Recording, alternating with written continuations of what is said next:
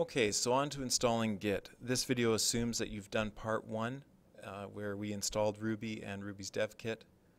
So next you want to go to git-scm.com and from here click on download for Windows and that should start the download.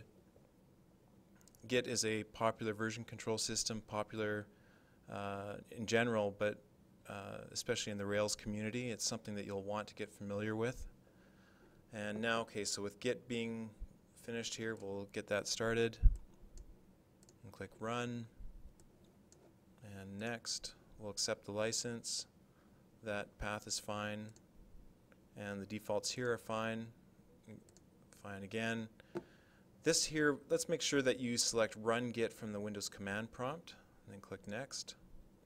Uh, we'll want to use OpenSSH. Uh, the default here is fine. We'll get the install here.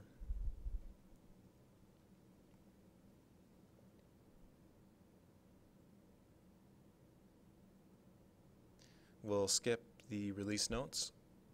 Click Finish. Next, we'll start up the command prompt. And for those of you that have it open from the previous video, you'll want to close it and start it up again, uh, just so that the, the install changes can take effect. So the first thing we'll do with this command prompt is test that Git is installed. And you can see here, similar to the Ruby dash v that we did in the previous video, git dash dash version outputs the version information. Next, to further verify the install, we'll clone the, the MySQL2 repository at GitHub. And first we'll make a directory off of C called dev.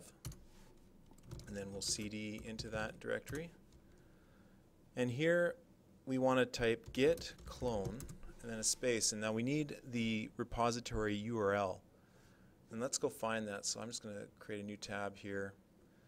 And we'll we'll type in um, GitHub MySQL2 gem, hit enter, and in my case here it's the first link. And you should see something similar to this at GitHub, the Brian Mario MySQL2. If you go over here, there's this HTTP, HTTPS clone URL. If you click this copy to clipboard icon, that should get the URL copied to your clipboard. And we'll go back to the um, command prompt and right click on the command prompt and click paste so that you've got this git space clone space and then this HTTPS URL for the MySQL2 repository. So hit enter and you'll see here that it's uh, downloading all the files you know for the repository and if we now cd into that directory that it created you can see that there's a bunch of files here related to the repository. We'll go back up one.